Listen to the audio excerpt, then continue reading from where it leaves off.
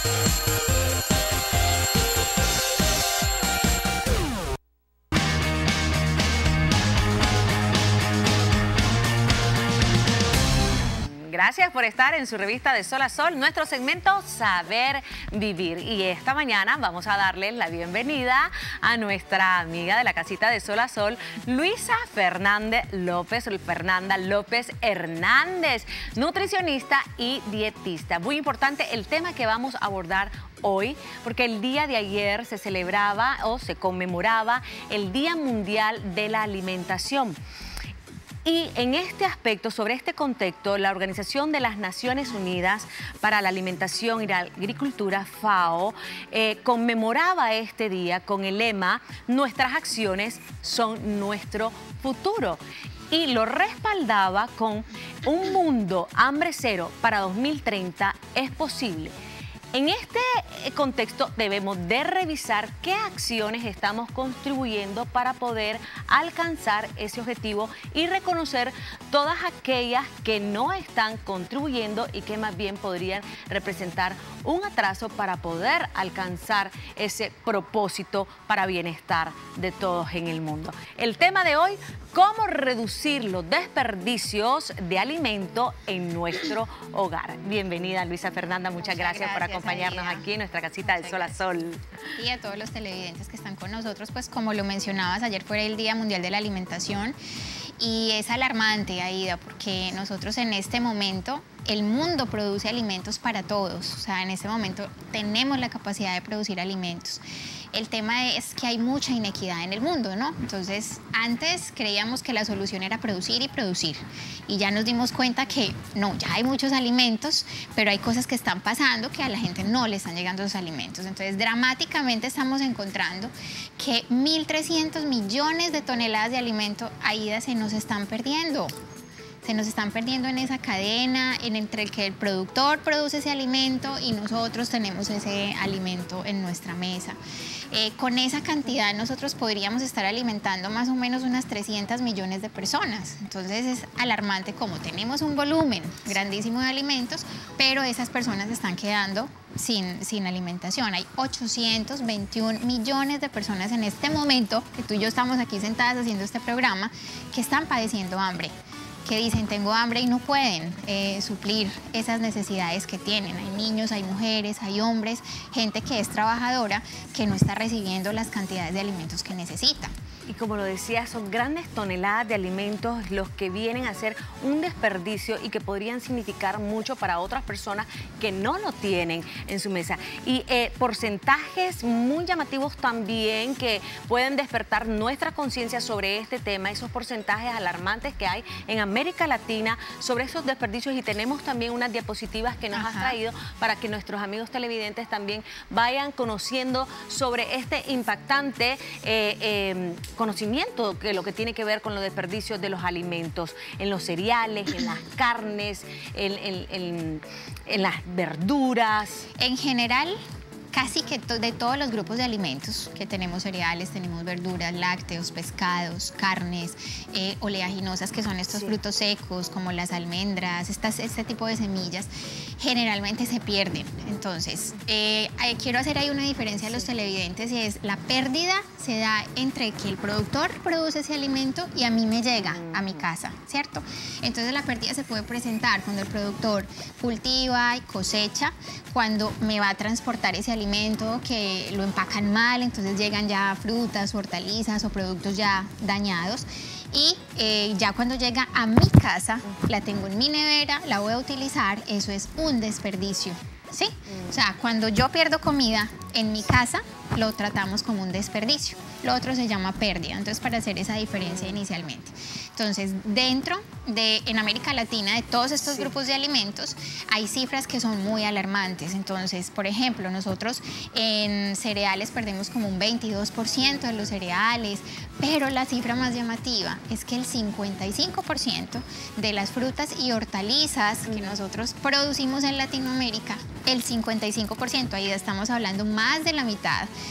de las frutas y las es impactante, se pierden o se desperdician. Entonces ahí estamos viendo, recordando estas cifras de la cantidad de toneladas, de la cantidad de personas que podríamos alimentar con esa comida. Ahí van seguramente a empezar a pasar esas cifras de cereales, de lácteos, de estos tipos de alimentos que realmente eh, estamos considerando una pérdida grandísima. Mira, el 25% de los cereales los estamos perdiendo. Em, hay muchas cosas que nosotros podemos hacer, desde el fortalecimiento al campesino para que esas pérdidas no se den y Claro, hoy vamos a hablar de unos pequeños tipsitos, más un poquito más adelante, de qué podemos hacer nosotros en nuestras casas para poder reducir. Es impresionante. Y ahí estamos viendo, 20% de oleaginosas y legumbres, esos son los frutos secos que te mencionaba. Aquí entraría también el frijol, la lenteja, el garbanzo, como unos productos que eh, también se pierden y esto es costosa su producción. Las carnes. Las carnes son de los productos más costosos de producir porque gastamos muchos recursos, agua, eh, mucho recurso natural para poder alimentar eh, a los animales, para producir la carne, con lo cual eso es uno de los productos más caros de producir. Y muchas veces los, los, lácteos, tenemos los lácteos. Nicaragua, que es un productor grande de leche y productos lácteos, además de carnes, deberíamos estarnos planteando estrategias también para ayudar a estas personas del sector para que se reduzcan estas pérdidas, los pescados, mira, tanta fuente de mm, proteína. Hay comunidades que solamente tienen acceso al pescado, entonces, y nosotros a veces en nuestras casas dejándolo perder. Entonces la idea es que tomemos conciencia de que nosotros a veces creemos que las soluciones están afuera, pero al interior de nuestros hogares podemos tener alternativas. Y ahí lo que decía, ¿verdad? Sobre los Esa es la que me parece más alarmante. Es impactante.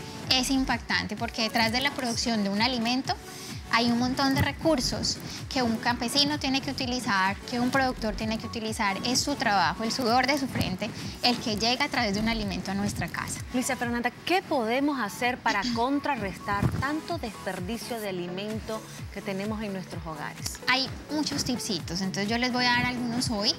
Entre los más importantes es que nosotros debemos planificar nuestras compras, Aida. Muchas veces nos vamos al mercado sin saber qué tenemos en la casa. No sabemos, no hacemos una lista, duplicamos alimentos, cuando nos llegan a la casa eh, ay, yo ya tenía ese queso, ya tenía lechuga, ya tenía tomates, ay, ¿por qué no me fijé? Entonces utilizamos las cosas eh, mal, entonces dejamos perder comida. Lo primero que entra en la nevera es lo primero que tiene que salir.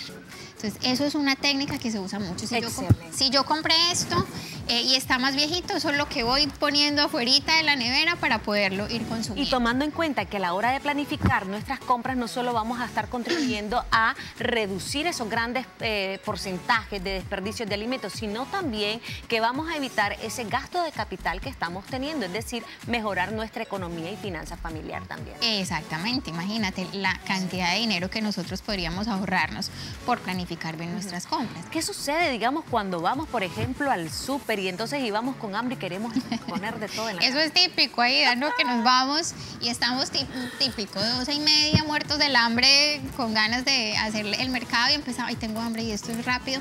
Terminamos eligiendo un montón de alimentos que no son primero saludables, porque primero cogemos las, los alimentos que tienen unas calorías que nos van a dar energía rápida y fuera de eso, cosas que no son tan buenas ni para nuestros niños ni para nosotros en el hogar más costosas, entonces incrementamos muchísimo eso. ¿Qué otras acciones también podemos generar para contrarrestar esta problemática? Por ejemplo, eh, nosotros en, los, en, nuestra casa almacenar bien nuestros alimentos, a veces los empacamos de manera que no es o metemos cosas en el refrigerador que no deben ir en el refrigerador o congelamos cosas que no deberíamos congelar, entonces almacenarlos bien es una de las cosas más importantes porque nosotros ahí en, la casa podemos tener ese cuidado. Aquí en Managua hay muchísimo, en Nicaragua en general, mucha humedad, con lo cual el deterioro de los alimentos aquí se maduran muy rápido las frutas. Comprar lo que necesitamos solamente, que lo hablábamos ahorita, llenar el carrito con lo que necesitamos y eso se hace con una, con la planificación. exactamente de la compra. Eh, hay otras alternativas como por ejemplo no comprar, ir a mercar, como lo decíamos, eh, llenos O sea, hacerlo con... Y utilizar, por ejemplo, todas las cosas en los restaurantes. Nosotros, si nos sobra comida, a veces vamos y nos hace más el ojo que el estómago realmente. Entonces pedimos a veces muchas cosas.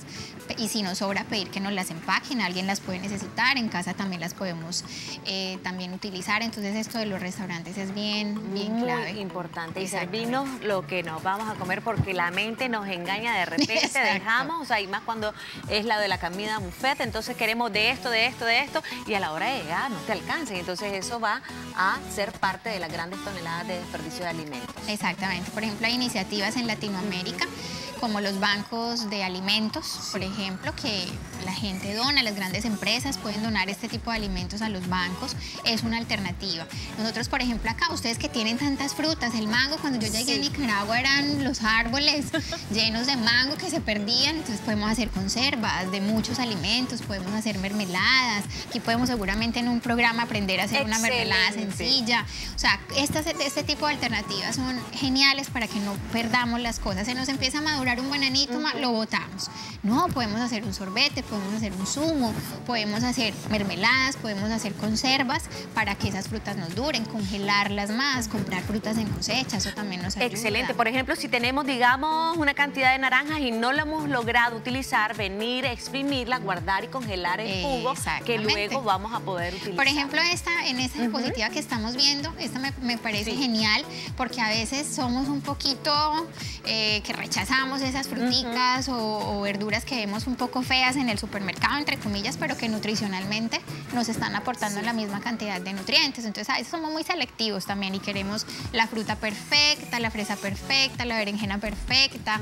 Y si vemos una que le sale por aquí alguien, ay, no, esta está muy la fea, la rechazamos. Y estamos con eso promoviendo también el desperdicio en las plazas de mercado, en los sitios donde vamos. Qué interesante, muy buena observación, porque sí, definitivamente que hacemos esa selección, sentimos muy madurito, no, no, este no me lo llevo, esto lo aporte. La fecha de caducidad, ahí, ahí lo estamos viendo, lo estábamos viendo ahí en pantalla, la fecha de caducidad es muy importante porque a veces eh, hay em, productores de alimentos que nos ponen consumir el producto preferentemente antes de, ¿sí? Entonces, eso no es lo mismo que consumirme el producto cuando va a vencer. Entonces, a veces el productor me pone la fecha de vencimiento, entonces me dice consumir eh, hasta esta fecha y me pone una fecha concreta. Y el otro me la deja un poquito abierta. Eso depende de los alimentos. Entonces, eso hay que tenerlo en cuenta porque ¿qué significa preferentemente? Es que el productor me está diciendo, en esa fecha, si usted se lo come antes, el producto va a tener todas las características nutricionales. Si usted se lo come un poquito después, ya no va a tener tan... No es que esté malo, no pero... es que esté malo, no va a tener todos los nutrientes, pero sigue estando bien el alimento. Mm. Entonces, a veces la gente, ay no, como me pasé un día, ah, entonces ya... Ya lo rechaza. Exacto, entonces tenemos que ver las condiciones del alimento, como vea que huele bien, todo. Entonces, eso es muy importante, tener en cuenta esa diferencia. Si ya me dicen, la fecha de vencimiento es esta, pues preferiblemente no.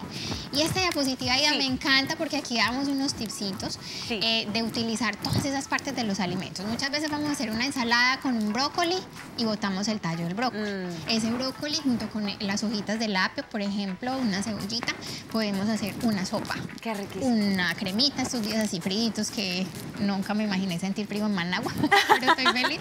Para las sopitas que a mí me fascinan, por ejemplo, las cáscaras de la papa, si la papa está bien lavada, nosotros podemos pelar las cáscaras de la papa y fritarlas y eso es un snack.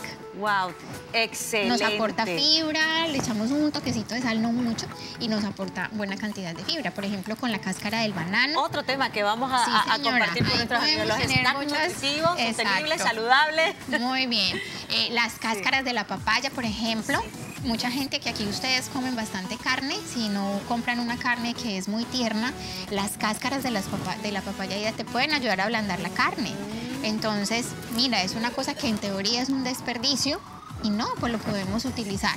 ¿Cuánto requerimos de este conocimiento? Y definitivamente, Luisa Fernanda, agradecerte porque este tema viene a contribuir a reducir estos grandes desperdicios que están significando mucho. Y si queremos realmente un mundo que pueda estar en hambre cero, podemos alcanzarlo a través de estas pequeñas acciones que están a nuestro alcance. Claro que sí. todos podemos contribuir, está en nuestras manos, tomemos conciencia de que detrás de un alimento que llega a nuestra mesa está todo el trabajo de los campesinos, de la gente que produce, eh, tomemos conciencia del agua que se gastan en la producción, tomemos conciencia de todos los recursos que hay ahí. Entonces, a veces no valoramos lo que tenemos en nuestra mesa, que es una gran riqueza, un gran regalo que nos da la naturaleza. Entonces, aprovechemos ese recurso. Definitivamente. Y estas herramientas que nos acaba de dar nuestra nutricionista y dietista Luisa Fernanda vienen a ser parte de este día a día y de este trabajo que vamos a utilizar para poder lograr pues esa reducción de alimentos eh, eh, en nuestro hogar. Muchísimas gracias Luisa Fernanda por el tema abordado y compartido con nuestra gran familia de la revista de Sol a Sol.